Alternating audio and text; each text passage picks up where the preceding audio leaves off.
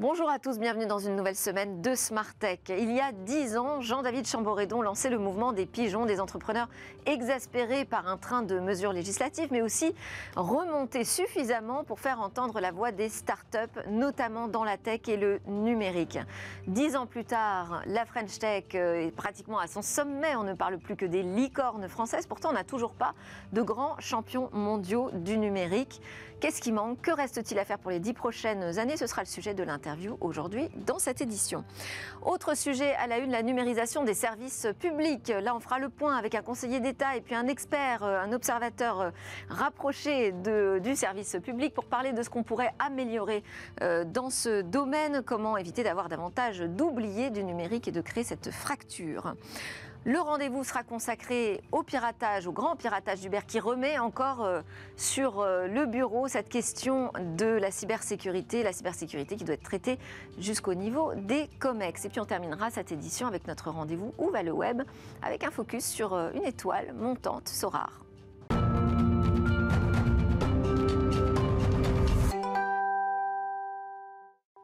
Bonjour à tous sur le plateau de Smartech. Aujourd'hui, Alexandre Lallet, conseiller d'État, rapporteur de l'étude du Conseil d'État sur l'intelligence artificielle dans l'action publique. Et à côté de vous, Émile Marzolf, journaliste chez Acteurs Publics. On va parler ensemble, on va débattre ensemble de cette numérisation des services publics et comment surtout est-ce qu'on peut l'améliorer, éviter d'avoir davantage d'oubliés. Mais d'abord, je propose d'écouter Marianne Tordeux. Bonjour Marianne de France Digital. À propos des 10 ans de France Digital, mais ce n'est pas juste les 10 ans de France Digital, c'est vraiment les 10 ans de la naissance pratiquement de la French Tech, même si euh, ce label finalement n'existait pas encore en 2012 il s'est quand même passé beaucoup de choses hein, dans, ces dix dernières années. On va voir qu'il reste encore beaucoup de choses aussi à faire. On va rappeler la naissance peut-être de France Digital. J'évoquais le mouvement des pigeons dans, le sommaire. On est en 2012. Il y a une tribune de Jean-David Chamboredon euh, qui finalement mobilise sur cette question de l'investissement. Euh, du financement des startups françaises qui n'avaient pas besoin d'être pénalisées par un nouveau train de mesures législatives. À l'époque, quel est le regard qu'on porte sur ces euh, start-upers? En fait, le, mouvement des pigeons, c'est presque le premier combat de France Digital. France Digital s'était créé quelques mois avant. Euh, et, ensuite, on a eu un, certain nombre de lois qui ont voulu euh, euh, taxer les entrepreneurs à, des, niveaux d'imposition qui risquaient de faire casser l'innovation à la française. et donc, effectivement, à la fois start-up et fonds d'investissement dans les start-up se sont réunis en créant un collectif qui a été France Digital. C'était assez unique. Hein. On n'a nulle part ailleurs en Europe cette, ce, ce mélange entre les start-up et les VC dans une même association parce qu'ils ont des intérêts communs. Et c'est la plus grosse association aujourd'hui en Europe qui regroupe les investisseurs et les entrepreneurs. Oui, on a, on a aujourd'hui 2000 membres, à la fois start-up et VC. Euh, effectivement, l'association nationale européenne qui nous suit, ça va être l'Allemagne avec à peu près 700, 700 membres. Donc ça nous donne un poids, notamment dans la négociation avec les pouvoirs publics européens, qui est non négligeable. Alors aujourd'hui, on célèbre les licornes. Hein, dès qu'on en a une nouvelle, on n'est pas encore à 30, mais bientôt sans doute. Euh, l'objectif, c'est d'arriver à 100. Euh, est-ce que ça vous semble aujourd'hui toujours un objectif intéressant que de viser davantage de licornes en France? Nous, on ne s'est pas donné comme objectif d'arriver à 100 licornes. Nous, ce qu'on veut, c'est des champions européens du numérique que ce soit par la levée de fonds, parce que c'est comme ça. mais est-ce que ça passe par les licornes? Eh bien, pas forcément. Ça peut aussi passer par le chiffre d'affaires. Et on voit de toute façon que la tendance actuelle, c'est la, la reconcentration sur des, fondamentaux qui peuvent être le chiffre d'affaires et, la mesure de l'investissement. Parce que la licorne, son, son critère, c'est la valorisation. C'est très différent. C'est la valorisation à plus d'un milliard de dollars à un instant T. Là où on peut aussi parler de centaures. Et là, c'est des entreprises qui sont valorisées en fonction du chiffre d'affaires. Euh, et ça vous semble quand même réaliste, euh, sans licorne en 2030, comme le souhaite le président de la République? Ça peut l'être. On est sur une tendance, euh, une tendance de toute façon à avoir de plus en plus d'entreprises en forte croissance. notre objectif aussi à nous, France Digital, et ça, on, se retrouve d'ailleurs un peu avec les, avec les objectifs du gouvernement, c'est d'avoir des licornes responsables, des licornes au service de la planète, de l'homme, avec des innovations utiles. Qu'est-ce que ça veut dire ça L'innovation. Euh, L'innovation au service de l'homme. De l'homme. Très concrètement. Ça veut dire que c'est des innovations utiles. Par exemple, de l'innovation en santé, c'est une innovation qui va. Euh, Parce que toutes les innovations ne sont pas utiles aujourd'hui? Je, n'irai pas sur ce terrain-là. En tout cas, ce que je vois, c'est que nous, chez France Digital, ce qu'on veut, c'est pousser et lever les barrières à l'innovation qui permettra, par exemple, de désengorger des services de santé, d'aider au diagnostic, de permettre du suivi de patients, etc. Ça, c'est sur le domaine de la santé, mais il peut y avoir ça sur la démocratie, il peut y avoir ça sur, euh, sur la sobriété énergétique. Donc, en fait, l'objectif, c'est que ces innovations-là aient un impact direct euh, et surtout qui, ne, qui permettent à chaque Français de comprendre pourquoi cette innovation lui apporte quelque chose réellement. Donc davantage centré sur des projets euh, RSE finalement. Hein. RSE, impact social, sociétaux, exactement. Environnemental. tout à fait. Vous avez créé comme ça une liste des, priorités qu'il va falloir euh, porter, davantage valoriser? On veut être assez inclusif, hein, c'est-à-dire qu'on euh, va, on, va pouvoir s'adapter évidemment euh, avec les tendances, avec les défis qui vont arriver au cours des prochaines années. Mais à l'heure d'aujourd'hui, des 10 ans de France Digitale, on se projette nécessairement sur les 10 prochaines années. Et sur ces 10 prochaines années, oui, nous, nos priorités, c'est la planète euh, nécessairement. En fait, quand on voit l'impact systémique peut avoir, que, par exemple, une entreprise comme Google, qui en 25 ans mm. est, présente dans nos vies euh, de manière évidente, quelles vont être les prochaines entreprises françaises qui vont avoir cet impact-là et vont-elles avoir un impact positif? Oui, alors est-ce qu'on peut, justement, parce que c'est sans doute très différent de se dire on se fixe comme objectif de créer des géants mondiaux du numérique et on se fixe comme objectif de porter de l'innovation mm. euh, au service de la société et de la planète. Mais en fait, Les deux ne se rencontrent pas forcément. Vous venez de citer l'exemple de, Google, par exemple. Alors nous, notre rôle euh, chez France Digital, c'est d'aider justement à la levée de l'ensemble des barrières qui poussent à l'innovation, à la création d'entreprises. Donc on va aider les entreprises à se financer, à accéder à des marchés publics, à recruter, parce que c'est l'un des, des l'une des principales difficultés aujourd'hui dans les startups. Et pour ça, on va avoir des programmes qui vont permettre de mettre en valeur des entreprises qui, par exemple, vont avoir ce qu'on appelle des valeurs.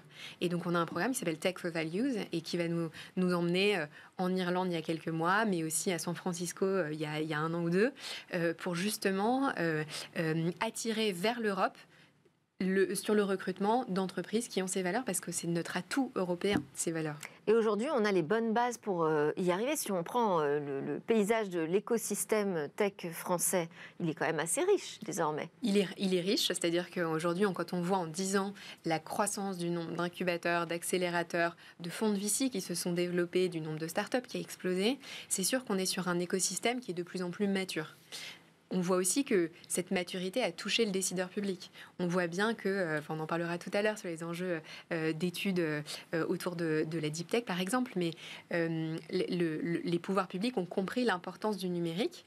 Pour nous, c'est à double tranchant, parce que d'une part, ils ont vu l'importance du numérique, mais il y a aussi quand même une véritable volonté de réglementer toujours plus. Nous, ce qu'on dit, c'est oui à la réglementation, évidemment, parce que c'est pour protéger le consommateur, l'utilisateur, etc. En revanche, faisons très attention à quelle barrière ou quelle marche ça oblige euh, de franchir pour les, pour les startups. C'est-à-dire que des entreprises qui se sont développées à l'étranger, euh, sur un marché américain beaucoup moins réglementé, vont pouvoir faire de la R&D, vont pouvoir se développer et essayer justement d'innover presque sans barrière, sans réglementation. Et de fait, quand elles arrivent en France, elles sont déjà ultra puissantes, avec des intelligences artificielles ultra puissantes. Vous pensez à quoi en particulier euh, Parce qu'on a vu là des annonces sur le, cloud souverain. Typiquement, ça devenait très compliqué pour des PME françaises qui travaillaient dans ce secteur d'obtenir un label euh, de confiance. Et là, il y a eu justement euh, euh, une décision politique de d'accompagner un peu mieux, enfin un peu mieux, de les accompagner alors que ce n'était pas le cas, vraiment vers la possibilité d'obtenir ce label. Vous pensez à d'autres secteurs qui sont aujourd'hui pénalisés en France par la réglementation? Ben, Je pense par exemple à la santé. On observe une tendance aujourd'hui où il y a quelques années, pour une entreprise française de, e-santé euh, aller innover aux États-Unis, aller ouvrir le marché américain, c'était impensable parce qu'il y avait des barrières à l'innovation qui étaient énormes. Aujourd'hui, c'est tout le contraire. Avec la réglementation européenne, que ce soit en matière justement de données de santé qui est en train de se préparer, mais aussi euh, sur les dispositifs médicaux, c'est assez technique. Mais en fait, l'idée, c'est qu'aujourd'hui, pour ces entreprises-là, elles vont avoir une, norme de mise en conformité qui est absolument énorme, ce mhm. qui fait qu'on a une véritable tendance, et ça fera l'objet d'un panel euh, dans le cadre du France Digital Day le 28 septembre. C'est toutes ces entreprises qui vont aller innover d'abord aux États-Unis alors même qu'elles peuvent avoir reçu des fonds français, alors même qu'on aimerait beaucoup que cette innovation, elle touche les usagers des services publics français, plutôt que d'aller en France. Voir en Angleterre aujourd'hui. Voir en Angleterre, mm. mais, euh, mais c'est sûr que oui. Alors vous avez évoqué le 28 septembre, donc France Digital Day. C'est aussi pour ça que vous êtes ici, parce que la chaîne Bismart est partenaire de, cet événement, et nous dans Smart Tech aussi, puisqu'on va inviter chaque jour une personnalité de France Digital pour comprendre un peu mieux comment euh, travaille cet écosystème de manière plus ou moins rapprochée avec euh, le politique, pour comprendre comment on peut faire pour arriver à un statut de champion du numérique. Donc merci Marianne Tordieu d'avoir ouvert le bal de cette semaine spéciale France Digital, même si on aura d'autres sujets, vous allez voir, euh, dans Smart Tech. Je voulais qu'on reprenne peut-être, puisque c'est un anniversaire, c'est les 10 ans, quelques dates clés qui vous semblent intéressantes. Euh, alors, très bonne question. Bah, D'abord 2012, la création de France Digital, évidemment. Euh, et donc, ce mouvement des pigeons Et le mouvement des pigeons. D'accord, c'est un, coup de gueule hein, pour dire on existe, on a besoin de grandir. Aujourd'hui, il y a de la tech qui est pénalisée. Ouais. Le pigeon, c'était le symbole, évidemment, parce qu'on n'avait pas envie de se faire pigeonner, mais c'était aussi le premier mouvement sur Twitter avec le petit oiseau qui, du coup, pour l'occasion, s'était transformé en pigeon. Euh, donc, évidemment, donc 2012, euh, la fronde des pigeons. Euh, on a aussi un certain nombre de moments un peu clés où on a compris que les startups arrivaient dans le débat public. On pense bah, à la fronde des taxis contre Uber. On pense à la taxe sur les, les robots que voulait mettre en place Benoît Hamon, parce que justement, il y a le sujet de l'automatisation du travail, des nouvelles manières d'avoir des charges sociales, etc. donc, on a comme ça des moments un peu de crispation dans le débat public on a, on a euh, le sujet de euh, qui va racheter Dailymotion. Et puis après, on a des moments très heureux comme, euh, bah, comme un, sujet qui est Tibi, qui est l'investissement massif dans, dans, les startups via les assureurs. Donc, donc Et puis la première licorne, licorne pardon, Blablacar. Tout à fait. dont d'ailleurs Frédéric Mazella est le vice-président, c'est ça? Le président. Le président. Et coprésident de Fred. Ah oui, le, voilà, c'est ça, le vice-président de France Digital, c'est ce que je voulais dire. Merci beaucoup Marianne Tordieu, directrice des affaires publiques euh, chez France Digital. Vous restez avec nous de toute façon pour le reste de l'émission, comme ça on entendra vos commentaires sur euh, la suite. C'est l'heure du talk où on va parler de la numérisation des services publics.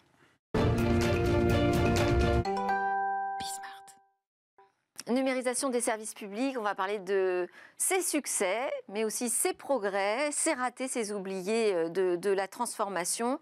Euh, on a euh, avec nous un conseiller d'État qui est rapporteur d'une publication sur l'intelligence artificielle dans l'action publique. L'idée là, c'est vraiment de dire qu'il va falloir davantage s'engager dans l'intelligence artificielle pour un meilleur service public. Vous allez nous expliquer pourquoi Alexandre Lallet, donc conseiller d'État, rapporteur de cette étude sur l'intelligence artificielle dans l'action publique. Vos domaines d'expertise, c'est le droit public, le droit des données à caractère personnel, le droit numérique, les libertés publiques, déontologie publicitaire, innovation. Voilà, vous êtes euh, un expert de, cette thématique et on commentera avec vous votre publication. Émile Marzolf à vos côtés, journaliste chez Acteurs Publics, spécialisé depuis euh, quatre années maintenant sur ces sujets de transformation numérique du secteur public et en particulier celle de l'État. Vous suivez donc tous ces grands projets informatiques hein, au sein des ministères. Et restez avec nous, Marianne Tordeux, directrice des affaires publiques de France Digital pour évidemment poser des questions à nos experts. Je voulais moi d'abord commencer avec une question pour vous deux. Hein. Est-ce que vous diriez déjà aujourd'hui euh, que la numérisation a amélioré le service rendu au public? Qui veut commencer? Alexandre Lallet, allez-y, je vous en prie. Bonjour, merci beaucoup. Euh, incontestablement, oui. Qui imagine aujourd'hui revenir en arrière et faire la queue à des guichets de préfecture pour aller chercher sa carte grise? Qui imagine ne plus pouvoir déclarer en ligne ses revenus ou payer ses impôts en ligne ou se rendre à la CAF obligatoirement pour aller euh, obtenir des allocations familiales? C'est absolument impensable. Et donc, il ne faut pas euh, perdre de vue l'essentiel, une réalité très simple qui est que la numérisation des services publics, c'est un progrès absolument formidable. Émile Marzolf, même regard? Je partage oui, le constat. En hein, numérisation, enfin, on le voit bien quand on réalise, euh, ne serait-ce que la, déclaration de revenus, on voit que c'est quasiment automatisé, on n'a quasiment plus rien à faire. Alors évidemment, il y a des, personnes pour lesquelles c'est pas aussi simple et il faut les accompagner. Hein. On, le verra, j'imagine, avec les, conseils numériques, les, les France Services, etc. Il y a des choses qui se mettent en place quand même pour accompagner. Oui, parce que quand tout fonctionne, effectivement, c'est très bien, mais tout ne fonctionne jamais per parfaitement, pardon. Et puis surtout, il y a besoin d'accompagnement. Quand on pose des questions aujourd'hui, c'est plus compliqué de trouver un interlocuteur. Hmm. Oui, alors le numérique a permis de simplifier la vie de millions de gens, mais effectivement, il ne faut pas oublier ces milliers de gens en quantité, c'est plutôt dans ces proportions, euh, pour qui le numérique euh, est une galère, tout simplement. Et il faut dire les choses. Euh, et pour qui la, vie est plus compliquée avec le numérique. Alors, il y a évidemment beaucoup de catégories différentes. vous avez deux grandes catégories. Vous avez les exclus du numérique purement et simplement, quand on sait que 7% des foyers français n'ont pas accès à Internet, 17% de la population souffre d'électronisme. Nécessairement, un service public numérique n'est pas dans les faits, accessible à 100% du public. Et c'est une question, un problème en soi, parce qu'un service public, il doit être accessible à tout le monde. Sinon, c'est un service euh, semi-public. Émile Marzov, vous voyez cette question de l'inclusion, justement, euh, vraiment portée aujourd'hui en interne au sein des administrations? Oui, oui, je voulais, je voulais aussi rajouter, on, pense souvent aux seniors qui sont euh, oubliés du numérique, qui n'ont pas la formation, mais il y a aussi les, les plus jeunes notamment qui euh, sont très habiles sur les, les smartphones, mais beaucoup moins avec les formulaires. Et donc il va y avoir aussi un travail à faire là-dessus. Alors ça peut se faire à l'école, hein. euh, mais il y aura aussi un apprentissage aussi pour les plus jeunes sur l'ordinateur, sur ne serait-ce qu'envoyer un mail, on le voit souvent. Euh, beaucoup Et cette question de l'inclusion, elle, elle, existe en interne oui, oui, Ça se met en place. Hein, C'est un préalable? Il y a, il y a les, conseillers numériques, hein. il y a le France Service qui se, qui se déploie partout en France. Hein. On est quand même déjà à 2400 maisons France Service qui ont des guichets uniques hein, d'accès. Et ça va monter normalement à 2600 d'ici la fin de l'année, donc au-delà de l'objectif qu'avait fixé Emmanuel Macron euh, après le grand débat. D'autant plus important parce que ça s'accélère hein. quand on parle de numérisation. On parle aussi d'intelligence artificielle, c'est votre sujet, avec de nombreuses expérimentations euh, qui voient le jour euh, au sein de l'administration. On a parlé dans Smart Age, je sais plus c'était la semaine dernière ou d'avant, de l'IA utilisée pour détecter des piscines non déclarées, donc par les services du fisc. Euh, qu'est-ce que vous pourriez nous présenter comme expérimentation intéressante aujourd'hui de l'IA qui peut rendre davantage service au public? Alors, c'est une question très vaste parce que dans tous les champs de la politique publique, on peut déployer des systèmes d'IA qui euh, modifient la façon de rendre le service. Dans l'IA en santé, par exemple, c'est aussi bien la robotisation euh, dans les interventions chirurgicales que le développement euh, exponentiel de la recherche médicale pour essayer de trouver tous les facteurs explicatifs d'une pathologie, d'une maladie donnée. Dans l'éducation, il est possible de déployer des systèmes d'IA qui vous permettent de personnaliser les prestations et de personnaliser la façon d'enseigner euh, pour tel ou tel élève parce qu'on a détecté un problème particulier ou un besoin particulier de l'élève dans sa façon de se comporter, dans les réponses qu'il a pu donner et qu'on peut exploiter à grande échelle, ce qui humainement n'est pas possible. On peut corriger des QCM, mais euh, pour euh, analyser en 360 degrés finalement le, le la façon dont l'élève se comporte, répond et, restitue ses connaissances et ses compétences, c'est très compliqué. Donc c'est aussi un champ intéressant. Vous parlez du contrôle. Alors évidemment, c'est un, champ immense de l'action publique. On peut faire aujourd'hui des choses qu'on ne pouvait pas faire hier. On parle beaucoup de reconnaissance faciale, qui est une, un cas d'usage qui est assez polémique, bien sûr. Mmh. Euh, mais vous en avez euh, beaucoup d'autres hein, pour la détection de, de la fraude, la fraude fiscale, la fraude sociale.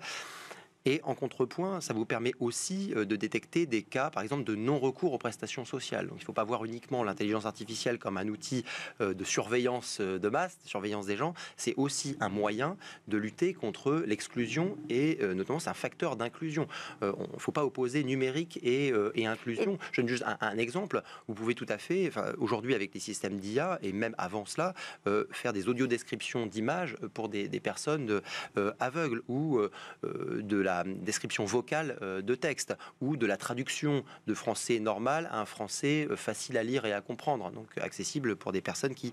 Et là, euh, ce dont vous nous parlez, c'est dans l'absolu, on pourrait, ou ce sont vraiment aujourd'hui des expérimentations qui sont étudiées très sérieusement et qui vont voir le jour? Alors pour partie, ce sont des projets qui sont déjà déployés et pour d'autres, ce sont davantage des, objectifs ou des idées en fait de, cas d'usage.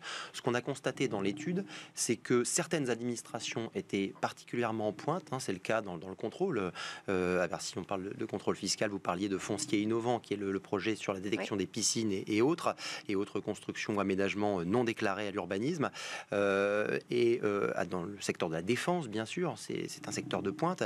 Et puis dans d'autres, dans d'autres ministères, c'est encore très balbutiant. On a quelques idées de cas d'usage qu'on pourrait développer, mais guère plus à ce stade. Donc euh, je dirais qu'on est vraiment aujourd'hui à l'orée, à l'aube du déploiement de systèmes d'intelligence artificielle basés sur l'apprentissage automatique et les réseaux de neurones.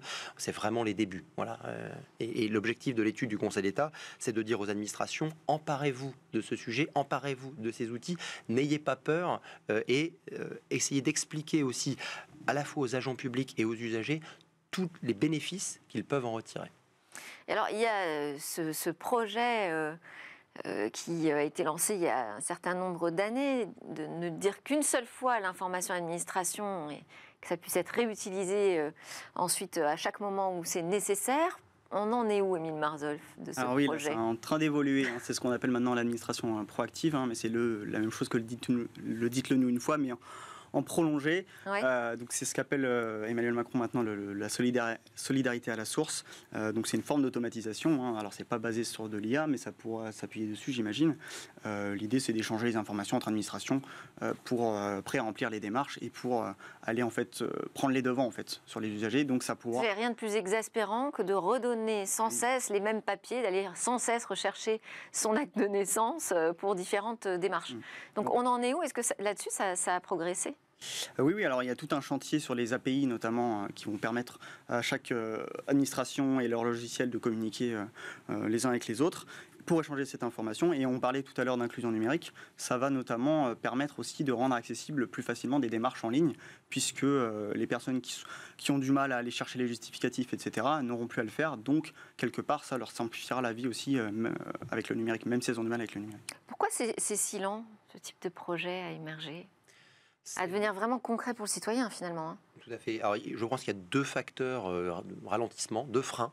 Il y a un frein technique, euh, c'est l'interopérabilité des systèmes d'information. Il faut que les outils numériques de l'administration A et l'administration B se parlent, et ce n'est pas une masse à faire, parce que l'État est un et unique, comme on le sait. En réalité, il est constitué d'une myriade de, services, et quand on parle de l'État, c'est uniquement euh, les administrations de l'État. Ensuite, il y a les collectivités territoriales, vous avez les établissements hospitaliers, les organismes de sécurité sociale, j'en passe, et les meilleurs. On pourrait passer la journée à, à énumérer toutes les administrations publiques. Donc ça, c'est le premier frein. Il faut que les systèmes d'information euh, se parlent entre eux. Or, aujourd'hui, il n'y a aucune obligation pour une administration de développer un système qui, euh, qui parle à l'autre. Euh, donc, bah, je sais pas, on a une, on a une DINUM, une direction du numérique, ah, dont c'est le job, non, Émile Marzolf hein. Il y a eu aussi des engagements qui ont été pris par le gouvernement au comité interministériel de transformation publique hein, sur justement la mise en place d'API pour échanger des informations. Il y a des objectifs très clairs avec euh, un calendrier, avec telle API sera ouverte à tel moment pour fiabiliser ou automatiser telle démarche. Euh, donc là, on a par exemple la, demande de bourse euh, pour les bourses scolaires, pardon, qui, dès qu'on s'inscrit, en principe, elle, elle, peut nous être proposée euh, à partir des informations fiscales. Donc ça, c'est 2022, ça Oui, ça a été mis en place déjà. L'autre frein dont je voulais parler, il est juridique. C'est-à-dire qu'a priori, tout le monde est d'accord pour dire bah, je ne veux donner mes informations qu'une fois, ça sera plus pratique pour moi. Mais quand on vous dit oui, mais alors est-ce que je peux réutiliser vos informations pour du contrôle fiscal? Les gens tout de suite sont moins d'accord. Hum. Et donc il y a une question de, pouvoir de décocher de, temps en temps. de ses propres données, des données à caractère personnel. Et il faut faire attention aussi à la façon dont elles sont utilisées, disséminées au sein de l'administration. Il y a un RGPD, il y a des règles à respecter, la loi de 78 sous le contrôle de la CNIL et du juge administratif. On ne va pas faire n'importe quoi non plus avec les données. Donc, ce n'est pas aussi simple que de dire allons-y, euh, partageons les données. Il y avoir un système euh, d'opt-in, enfin, où on peut décider d'accepter de partager ou non une donnée, mais au moins la donnée, si on accepte de la partager, elle est déjà prête. Tout à fait. Et ensuite, il faut s'assurer qu'elle est sécurisée, il faut s'assurer que les gens puissent exercer leur droit d'opposition, il faut qu'ils soient informés de la façon dont ils utilisent les données, donc c'est relativement complexe. Et au-delà de ça, c'est vrai que l'étude du Conseil d'État aussi essaie de promouvoir le partage de données au sein de la sphère publique, parce que ces données, c'est aussi un gisement de valeur énorme, considérable pour les systèmes d'IA, pour entraîner des systèmes d'IA. On a besoin de données et c'est l'administration est assise sur un tas d'or qu'aujourd'hui elle n'exploite pas beaucoup. Autant que ce soit nous qui l'exploitions en plus. Les euh, entreprises, les startups. moi je n'attends que Quand je dis nous, je veux dire euh, l'écosystème français. Euh, il y a la question, vous l'avez un peu abordé d'ailleurs tout à l'heure Alexandre Lalette, de l'accessibilité des sites de l'État. Aujourd'hui, on est à quel niveau alors ça dépend ce qu'on Dans l'accessibilité, il y a l'accessibilité aux personnes euh, au handicap. handicap. Oui. Alors ça, ça progresse, mais on part de très très loin. On était à 13% en 2000. Pour l'instant, j'ai pas l'impression qu'on montre l'exemple. bah, il y, a des initiatives, hein, mais ça se fait petit à petit avec alors notamment l'Observatoire des démarches, hein, où il y a des équipes de, designers maintenant qui sont dépêchés pour prendre une démarche en particulier et essayer de la, faire monter au niveau de l'ergonomie, de simplicité, etc. Et il y a aussi un volet, justement, dites-le nous une fois, avec le nombre d'informations euh, qui est demandé. Et donc il y a certaines démarches où il faut encore 22 informations euh, à renseigner. Et donc c'est en train de se réduire et ça permet de suivre cette avancée-là. Mais... Et donc vous allez me dire, Alexandre Lallet, que l'IA, ça va permettre d'accélérer sur cette accessibilité des sites? Oui, en partie, mais c'est une problématique qui va bien au-delà de, l'IA. Euh, c'est vrai que sur les personnes handicapées, c'est un sujet en soi. Selon le dernier décompte, du défenseur des droits, on a moins de la moitié des démarches administratives qui sont vraiment accessibles aux personnes handicapées, ce qui est, voilà, ce qui est quand même effectivement, euh, ce qui est quand même assez peu. Mais on, comprend que les choses se font progressivement. C'est un peu comme la mise aux normes des bâtiments. Ça prend du temps parce qu'on remet en chantier des applications, mais à ce moment-là, on les rend accessibles aux personnes handicapées. C'est aussi la, raison pour laquelle ça, ça traîne. Et puis, euh, il y, a une question aussi euh, juridique. Hein. Le Conseil d'État y est attentif. Pour des démarches administratives sensibles, euh, qui s'adresse à des publics vulnérables, comme les demandes de titres de séjour, le Conseil d'État a récemment dégagé une obligation juridique pour le gouvernement de prévoir dans les textes deux solutions, enfin deux dispositifs. Un dispositif d'accompagnement un accompagnement humain, euh, d'accueil dans les locaux de l'administration pour ceux qui ne savent pas se servir de l'application en ligne depuis euh, chez eux ou depuis une association, et puis un dispositif de substitution, de secours, lorsque l'application ne fonctionne pas pour la personne en question, parce qu'il arrive que, avec la complexité des règles, bah, vous vous trouviez en dehors de l'application. Il n'y a pas la case qui correspond à votre situation. Alors la substitution, c'est-à-dire euh, toujours proposer la version papier? Alors non, l'idée ce n'est pas évidemment d'avoir toujours le choix entre les deux, mais d'avoir une alternative euh, constamment entre papier et numérique. C'est un peu ce que propose le défenseur des droits, mais ça ne me paraît pas très réaliste pour tout dire. En revanche, lorsqu'on a épuisé euh, les, les possibilités d'accompagnement et lorsque véritablement l'application elle-même dysfonctionne ou n'a pas été conçue pour prendre en compte votre situation particulière, il faut pouvoir alors avoir une, espèce de, route de secours ultime euh, par, par le biais d'un humain. Et comment alors Donc comment il serait un, un, SAV, un service téléphonique par exemple, il faut un guichet Il y au bout du bout un interlocuteur humain. Ça c'est une, condition sine qua non de la confiance dans, le, dans les services numériques, dans le déploiement des services numériques. Et comment on fait ça? Bah, L'IA effectivement est une réponse. Pourquoi? Parce que en automatisant des tâches administratives qui aujourd'hui sont faites à la main euh, par des agents publics. Vous dégagez de la ressource humaine et cette ressource humaine, vous pouvez faire des économies bien sûr, mais le gouvernement peut aussi, ou les administrations peuvent aussi décider d'en affecter une partie à l'accompagnement humain des publics qui en ont vraiment besoin. Si vous automatisez 95% de la prestation, il vous restera 5% des gens à qui vous pouvez euh, proposer une prestation de meilleure qualité qu'aujourd'hui. C'est ça qui, le pari qu'il faut faire, c'est ça qu'il faut arriver à réussir. Sur cette question euh, de proposer l'alternative papier euh, partout, tout le temps, sur tous les services euh, publics, quelle est votre, votre opinion là-dessus, Émile Marzolf? Alors, le, il y a le défenseur des droits, notamment, qui avait mis un rapport, vous mentionnez les, titres de séjour, où là, justement, ce qui avait été problématique, c'est que même si toute la démarche, enfin, si la démarche pouvait se faire en guichet, par exemple, il fallait prendre un rendez-vous, quoi qu'il arrive, par Internet. Donc, il peut y avoir différents jalons dans la démarche qui font que euh, l'accès peut être euh, enfin, stoppé euh, pour une personne qui, n'a pas accès au numérique, tout simplement. Après, il y a aussi hein, des démarches qui, se lancent pour faciliter l'accès. Enfin, grâce au numérique, des solutions en fait, qui émergent. France Connect, par exemple, ça permet de simplifier la, la connexion. Il y a aussi Aidant Connect, qui est un dérivé qui permet euh, aux, aidants, donc aux travailleurs sociaux par exemple, quand ils, accompagnent des, usagers en difficulté, de, en fait, de sécuriser la connexion et de les aider à, faire la démarche.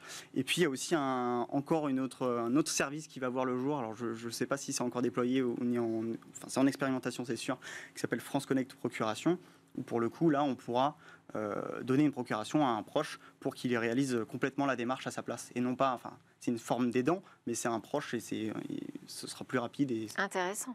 Alors, vous avez évoqué euh, le problème de la sécurisation, parce que finalement, ces outils qui euh, sont. Parce qu'il y y a le problème de la transformation des équipes, il y a le problème juridique, il y a le problème informatique, mais il y a aussi le problème de la cybersécurité. Aujourd'hui, ces outils qui permettent de se connecter avec un identifiant unique pratiquement. C'est-à-dire qu'on peut choisir, par exemple, ce soit euh, via Amélie qu'on se connecte à n'importe quel site euh, euh, de l'État. Est-ce que ça pose aujourd'hui des questions de, sécurité? Comment est-ce que c'est envisagé? Parce que au niveau européen, on est vraiment en train de resserrer la vis là sur les questions d'identifiant et d'accès. En fait, France Connect, c'est parti d'une alors d'une bonne idée, je ne sais pas, mais en tout cas, c'était on pouvait pas faire l'identité numérique quoi. forte. Donc, on est parti sur ces identifiants existants, mais qui sont pas en fait des, c'est pas vraiment des fournisseurs d'identité, Amélie, etc. c'est, ils avaient des comptes existants. On s'est dit, on va s'appuyer là-dessus. Mmh. Euh, donc, ça a simplifié les choses, ça a accéléré l'adoption de France Connect, mais en, contrepartie, par contre, en effet, ça peut donner accès une fois que les identifiants sont volés, ça peut donner accès à la, toute la myriade de, services publics euh, et privés d'ailleurs accessibles. Et c'est pour ça aussi d'ailleurs que les par exemple, les banques qui sont invitées, hein, elles peuvent utiliser France Connect. Euh, elles ne le font pas parce qu'il n'y a pas de niveau euh, substantiel ou élevé euh, de, de Parce qu'elles ont une, réglementation au niveau européen qui leur impose le double, enfin le, la double identification. Merci. Ça, là-dessus, vous avez travaillé sur cette question de, la sécurité, comment renforcer la sécurité tout en perdant pas la simplicité d'accès? C'est un sujet qu'on évoque dans l'étude sur l'IA, alors qui dépasse de loin hein, le sujet de l'intelligence artificielle, bien sûr, mais l'IA euh, soulève des difficultés particulières euh, qui, de vulnérabilité qui sont liées notamment aux données qu'on utilise pour euh, entraîner les modèles. Il y a des problématiques d'empoisonnement des données. On peut effectivement modifier, altérer les données à la source pour ensuite rendre le système d'IA vulnérable, inutilisable.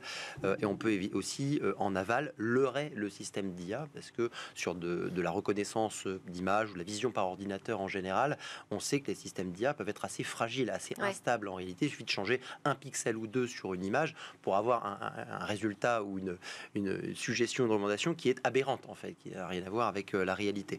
Donc ça, c'est une problématique euh, propre à l'IA. Plus largement, c'est vrai que moi, je rejoins ce que dit enfin, on a des, quand même un retard euh, dans ce pays sur l'identification électronique, sur l'identité électronique. Des progrès ont été faits. on a aussi des prestataires. On n'arrête pas de me dire que c'est vrai le grand, le nouveau grand sujet, mais je l'attends. Hein. La, la, matrice, la matrice de quasiment tout. C'est vrai que mm. pouvoir s'authentifier sur sur un site ou une application, c'est quelque chose d'absolument clé. Pouvoir le faire de manière sécurisée, ça devient indispensable dans le contexte actuel.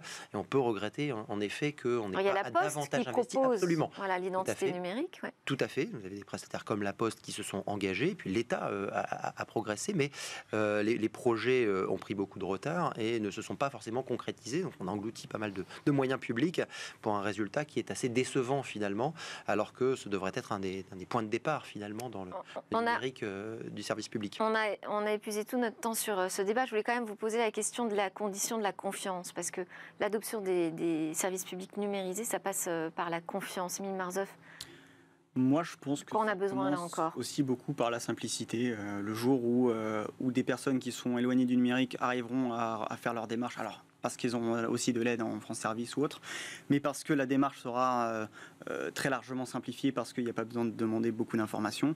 Euh, et qu'elle sera informée en amont via SMS, etc. Euh, venez faire votre démarche et vous n'avez quasiment plus rien à faire. Lisez mais et validez. Euh, je pense que là, ce sera quand même plus simple pour tout le monde. Condition de la confiance? Lisez l'étude, lisez l'étude du Conseil d'État, puisqu'on liste sept principes de l'IA publique de confiance. Euh, et moi, je dirais que l'une des clés, des clés de, la confiance, c'est la performance. Lorsque l'outil vous rend service, vous ne vous posez plus tellement la question de savoir ensuite ce qui se passe derrière. Euh, on ne se pose pas la question sur des sites de e-commerce qui fonctionnent très bien, par exemple, je ne vais pas les nommer. Mmh. Euh, je pense que si les outils numériques de l'administration et de l'État fonctionnent très bien, de manière fluide, stable et efficace, alors la confiance viendra assez naturellement derrière. Merci beaucoup à tous les deux. Alexandre Lallet du Conseil d'État, vous allez rester avec nous. Émile Marzov du média Acteur Public. Merci beaucoup. Marianne Tordeux, vous n'avez pas eu le temps de réagir. Mais c'est pas grave, vous restez. Il y a une chance au deuxième tour. On se retrouve juste après la pause.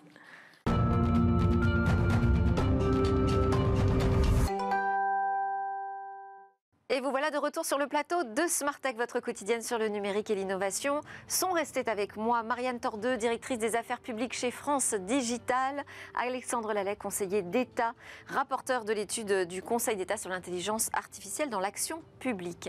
On a parlé ensemble des 10 ans de France Digital, on a parlé de la numérisation des services publics, il est l'heure de parler du piratage, important piratage d'Uber et des leçons à en tirer avec Hervé Lejoin. Bonjour Hervé Lejoin. Vous êtes, je le rappelle, le fondateur de Advisory et aujourd'hui, ce qui vous intéresse dans ce euh, piratage d'Uber, c'est quelles leçons on peut en tirer. Alors déjà, rappelons ce qui est arrivé là, en fin de semaine dernière. Alors, ce qui est arrivé, c'est que le 16 septembre, la direction d'Uber a, reconnu avoir été victime d'un incident de sécurité. Euh, les premières informations dont nous disposons indiquent que c'est un hacker de 18 ans qui s'est introduit dans le système d'information d'Uber. Et ce en utilisant une approche d'ingénierie sociale, donc c'est assez simple, c'est-à-dire qu'il a contacté un employé d'Uber via un SMS en se faisant passer pour un membre de l'équipe de sécurité, et cet employé, à la demande du hacker, lui aurait communiqué l'identifiant et le mot de passe d'accès au réseau privé virtuel d'Uber, donc le fameux VPN. Et à partir de ce moment, le hacker a pu naviguer dans tout le réseau interne Uber et découvrir rapidement les scripts dont l'un contenait malheureusement l'identifiant et le mot de passe d'accès à un compte administrateur sur un système très sensible. Donc, euh, et grâce à cet accès, il s'est ouvert les portes à tous les secrets d'Uber. Est-ce qu'on sait justement si, euh, le pirate a, volé des données sur euh, les chauffeurs, les utilisateurs d'Uber alors, a priori, Uber a communiqué qu'il ne semblerait pas qu'il ait dérobé des données sensibles des utilisateurs. Alors, il faut rester très prudent parce qu'ils disent que les systèmes, fonctionnent correctement, euh, sans donner plus de détails. Il faut rester très prudent parce que des experts, quand même, euh, disent qu'avec le niveau d'accès qu'il a obtenu, il aurait tout à fait euh, été possible pour lui d'accéder à des données utilisateurs. Et il est trop tôt donc pour conclure sur ce sujet, mais une chose est certaine, c'est que cet événement va porter un préjudice très grave à Uber. D'autant que je fais juste une petite parenthèse, pardon euh, Hervé, je fais juste une petite parenthèse, que le contexte là, de l'attaque, c'est au moment où s'est ouvert justement euh, aux États-Unis le procès d'un ancien responsable de la sécurité d'Uber, hein, parce qu'il y avait eu une fuite de données qui n'avait pas été dévoilée. Tout à fait, oui. 57 millions de données utilisateurs en fait avaient été volées en 2016 et à l'époque Uber n'avait pas communiqué. Euh, parce qu'il n'y avait pas de, loi qui, euh, euh, qui, disait qu'il fallait communiquer, et ils avaient payé les cybercriminels pour ne pas, pour ne pas effectivement communiquer ces données, pour les détruire. Et aujourd'hui, vous savez très bien, et ça depuis le RGPD, mais aussi aux États-Unis, vous avez aujourd'hui l'obligation. Donc il est clair qu'on est dans un monde où effectivement aujourd'hui ce type de ce type d'attaque euh, porte préjudice aux sociétés et de façon très significative. Et là sur cette attaque, est-ce que euh, vous diriez qu'elle aurait pu être évitée? Au dire de certains experts, oui, parce qu'en fait, et là c'était euh, intéressant que vous soyez avant sur le sujet de l'identification de et de l'authentification, parce qu'en fait, il semblerait que ce système d'authentification à multiples facteurs chez Uber n'était pas assez robuste.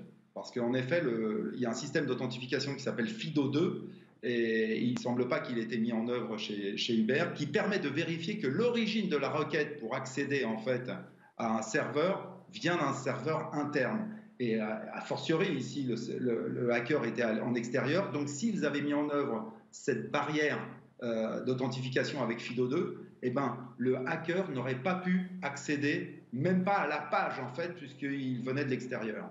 Je vois Alexandre Lallet qui opine du chef. Euh, oui, cette question de verrouiller les euh, accès, de vérifier les identifications, c'est absolument crucial aujourd'hui.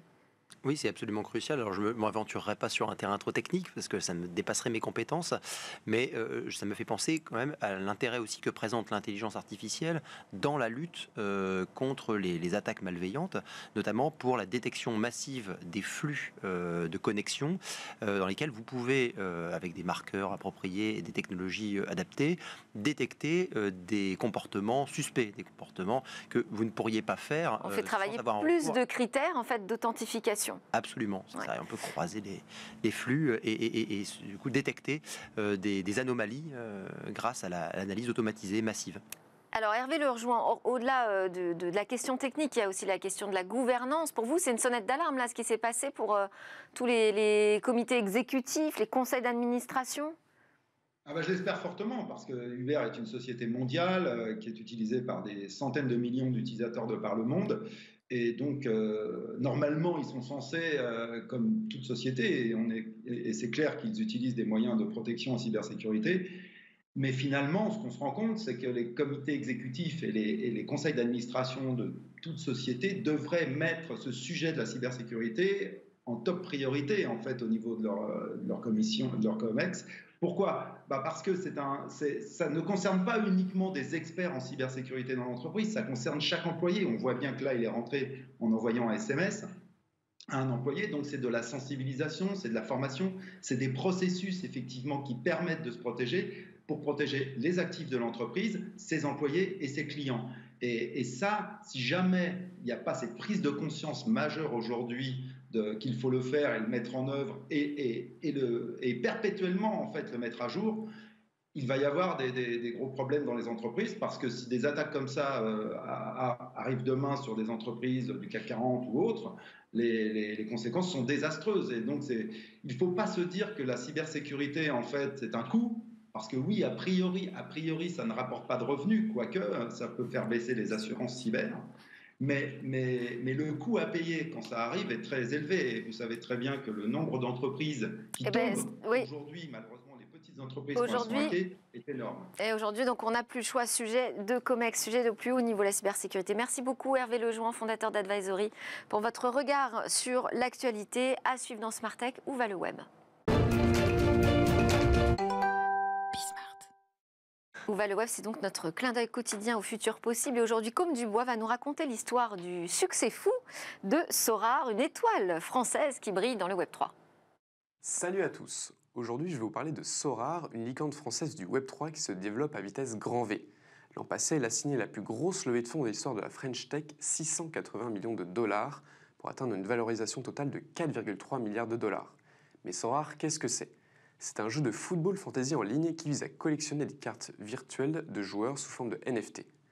Les utilisateurs achètent ces NFT grâce à la crypto-monnaie Ethereum. Une fois leur équipe constituée, ils peuvent ensuite affronter d'autres utilisateurs dans des compétitions fictives dont les résultats dépendent des réelles performances sportives des joueurs. Depuis son lancement en 2018, plus de 2 millions d'utilisateurs dans 185 pays s'y sont déjà essayés et leur nombre devrait exploser dans les prochaines années avec l'ouverture de nouveaux sports. Récemment, la startup a en effet signé un partenariat avec la NBA et le NBPA, le puissant syndicat des joueurs professionnels de basket, afin de lancer un jeu de fantasy dédié au basketball américain dès cet automne. Mais ce n'est pas la première fois que Sora s'intéresse au sport américain, puisqu'au printemps, la Licorne s'est déjà offert les droits de la MLB, la Ligue de baseball américaine. Comme pour le jeu de football, les possesseurs de cartes Sorar pourront également participer à des compétitions en ligne. Bien que le marché des crypto-monnaies soit à la peine ces derniers mois, Sorar fait mieux que résister.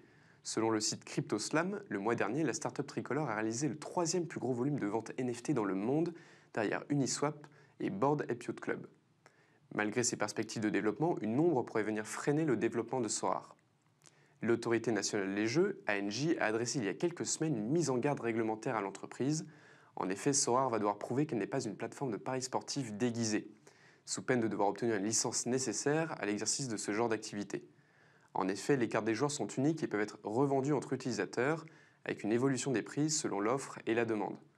Soar pourrait aussi se voir obligé de faire de la prévention contre les addictions et de la lutte contre le blanchiment d'argent. Mais aussi, l'entreprise pourrait empêcher les mineurs d'avoir recours à son service. Enfin, comme tous les opérateurs de paris sportifs, Soar pourrait être soumise à une fiscalité spécifique qui l'oblige à reverser 7,5% des mises des parieurs à l'État. Que les utilisateurs de Soar se rassurent, on n'en est pas encore là. Les dirigeants de l'entreprise ont rencontré le régulateur français le 6 septembre pour défendre leur position il est encore trop tôt pour en tirer des conclusions, a expliqué l'ANJ. Et ben voilà un exemple peut-être de comment la régulation peut faire et défaire des champions. Vous en parliez euh, en introduction de cette émission. Merci beaucoup. Marianne Tordeux, directrice des affaires publiques chez France Digital. Alexandre Lalec, conseiller d'État, rapporteur de l'étude sur l'intelligence artificielle dans l'action publique. Merci à tous de nous suivre. C'était Smart Tech. On se donne rendez-vous demain.